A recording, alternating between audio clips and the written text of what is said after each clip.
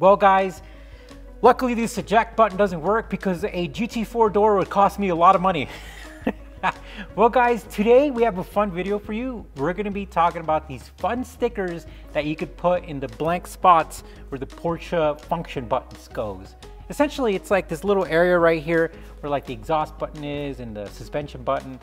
And I saw somebody put some funny things in there and to blend them in, like you would have to like look at them to see that they were something funny because they blend in with the rest of the buttons. So that's what we're doing in this video.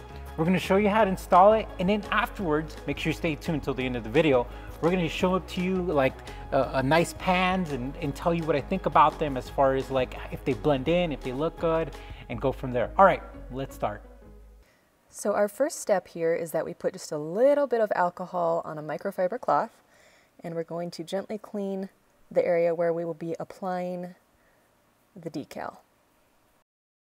All right, the first decal we're going to apply is going to be our banana drop. So we are going to remove the protective backing.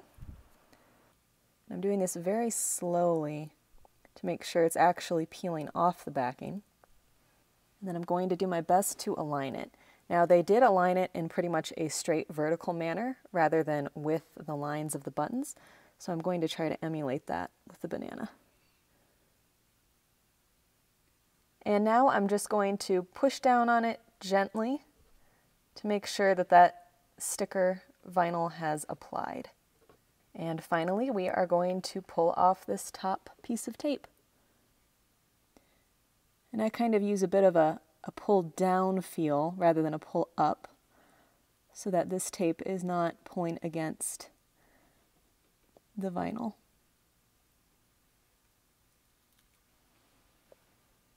All right, now we're going to go ahead and add on our second one.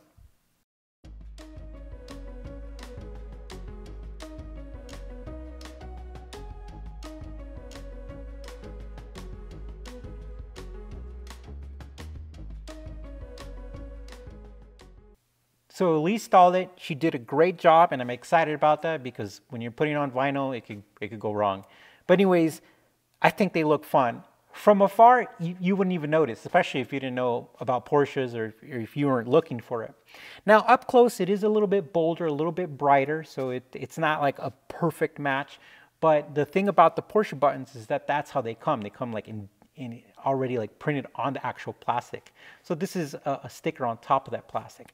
But I think it looks great and it is hilarious. I absolutely love it. Well guys, if you want to buy these, I'm gonna put the link in the description where you can pick them up.